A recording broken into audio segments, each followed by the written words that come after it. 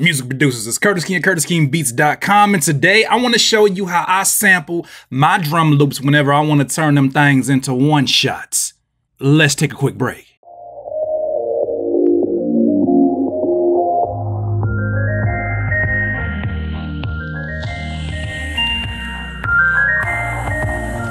Music producers, I don't know how you sample your drum loops, but I have many different techniques. I'm gonna show you two techniques specifically today. I've been sampling drum loops since the first time that I started using FL Studio. But my mom found that I wanted to be a producer and I transitioned from a PlayStation. She was like, son, I'm gonna get you something for Christmas. And sure enough, my mama did. I love my mama, man. Shout out to moms. Shout out to the queen, though. Anyways, one Christmas, she got me these drum loops from Guitar Center. They was, it was cool. She ain't no better. And so I had to learn from a very early stage how to sample drum loops and how to get individual sounds. Like sometimes I may just like a bongo roll inside of a drum loop, which I'm gonna show you how to do today. And never has it been easier to do this. Now I'm gonna show you first of all, my process that I've been using from the jump. And then I'm gonna show you a program that is going to blow your frickety dickety mind once you get into it and understand what it's all about called Regroover. So first and foremost, let me show you the Curtiss King way of taking these drum loops and getting individual sounds. For those that are wondering, I use FL Slicer. I know there's a FL Slicer X. I haven't really got into what I heard there's a lot of great features in it. That's cool. I like what I like and I've been using it. I'm a dinosaur when it comes to that. Anyways, here's how I would use a drum loop. Let's go ahead and take one from my drum kit, Big Drums Knock Volume 2.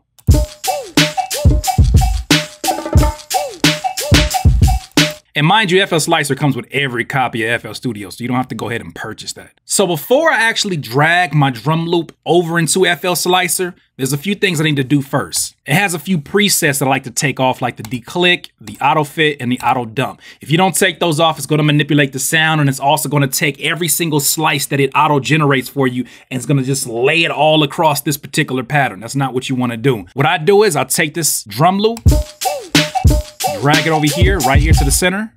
Boom. Now it's automatically chopping it up for you. Now these chops are a little bit ridiculous right now. And I'm triggering these from the MIDI keyboard, mind you. So if you want the auto slice to work a little bit more accurately to your liking, go over here to the slicing menu, and then you can do it slicing according to beat, half beat, or you can even do some of the auto slicing like dull, medium. Let's do a dull and see what that is. Cool. So now we're getting a better idea what we got. Now, if there's an individual sound we find in here, like I want this snare without that little bell at the end of it, all I gotta do is go up here in this preview menu, right click, and then split. Now I have an individual sound. Now there's something else in here that I want to grab, which is the bongos. It sounds really special and if I didn't actually create this, I wouldn't know where this bongo came from. But say I wanted to take this sound so then from there, you can repurpose this drum loop however you want to your liking. Like I can take these individual sounds and basically go into the piano roll.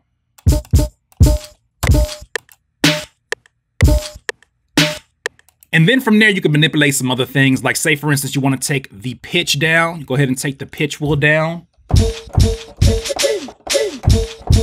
Also too, over here, you can stretch it out. You can make it go faster by going down on this particular knob and slower by going up on the knob.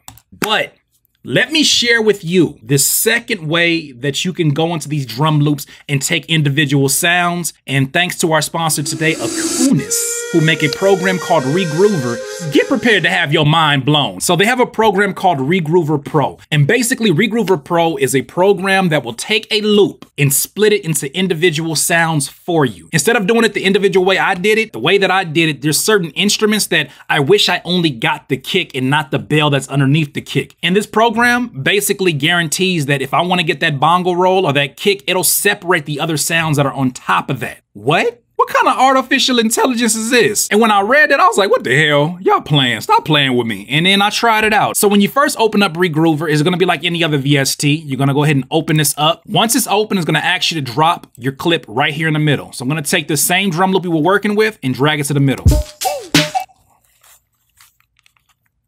So after it's finished analyzing, look what the hell it just did. It just separated every single sound within the drum loop, fam. So before we play the individual sounds, there's a few things I want to bring your attention to. At the top here, the first thing that you're going to notice is that there has a host button and a play button. Now, if you want these drum loops to go according to your parameters up here, your play button and your stop, then you're going to keep that on host. But if you want to play it individually within this VST, you're going to take that off. Also too, the sync button, this actually will sync this loop automatically for you to your project tempo. And let me replay the loop for you as it's just restructured it for me.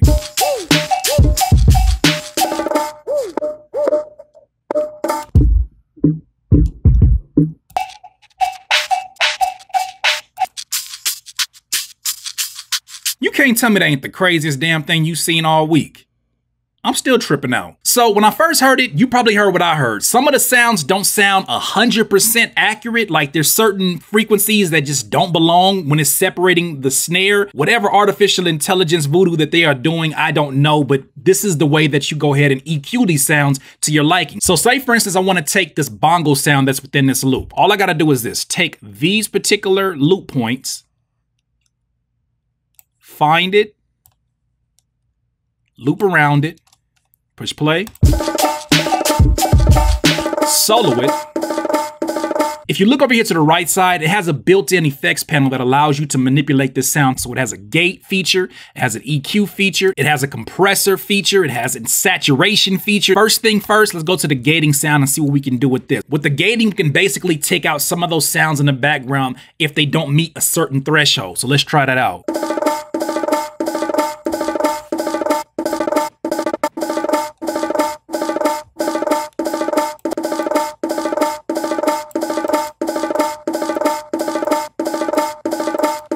Next thing, we're gonna change the EQing since we definitely want that mid and high frequency within this. You can manipulate that stuff right here.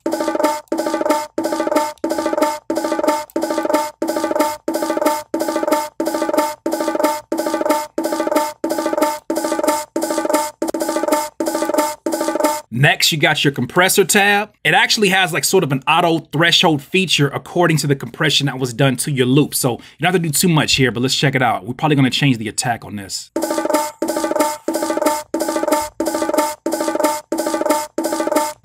The next tab is saturation. This is how we're gonna give this sound a little bit of flavor, a little bit of color, a little bit of life. So we're basically gonna take this transient up and down and kind of mess around with this.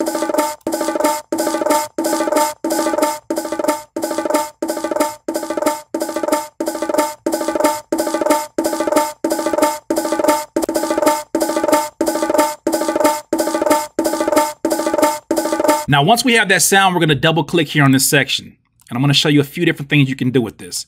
Now, based upon this loop, I can do one or two things. I can drag this directly into my FL Studio playlist, or I can use sort of their expansion kit feature that's kind of like a drum pad within the actual program. But say I wanna just take this individual sound, all I gotta do is after I highlight it, go down here, hold down the left clicker, let it process, and then drag this thing right here into the playlist. Boom. Bruh. and mind you, you can do the same thing for every one of these sounds. Like say, for instance, I want to change this kick.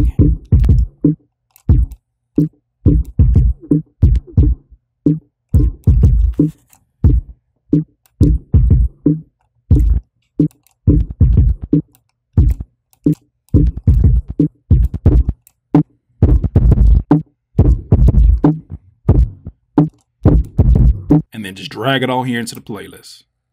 And all of a sudden, I got a kick that I can go in there and manipulate. Now, obviously, I'm looking at this technology and I'm like, I think it may still have some development to go, but from how it's just working right now, I've never seen anything like this. I think this is super freaking dope to be able to separate the frequencies of these sounds. And I'm seeing how I can manipulate different loops and use them to my advantage depending on what sounds I want from some of these loops, especially now that I'm on Splice and I get these loops all the time. There's certain sounds that I'm like, man, you know what? That little snare roll, that's fire. But I don't like the kick and hi-hats that you got behind that. Can I have that snare and not hear the hi-hat? Can I have it? Can I have it? And so now what I can basically do instead of just taking that sound and having to compensate it through EQing, Regroover does that for me, plus has additional features within the EQ to make it even more realistic. I would definitely be interested in seeing how it develops over time, but look, I just showed you two different ways to get one shots from your favorite drum loops. You pick which poison, you pick which one you like. If you're interested in Regroover though, go to the description below. I got a special link for you that gets you 10% off. Either way, I hope this video helped you today. Please Ryu Hadouken my like button and subscribe to the channel. Once again, this is Curtiss King, CurtissKingBeats.com. Peace. Please subscribe to the channel below, Curtiss King, CurtissKingBeats.com.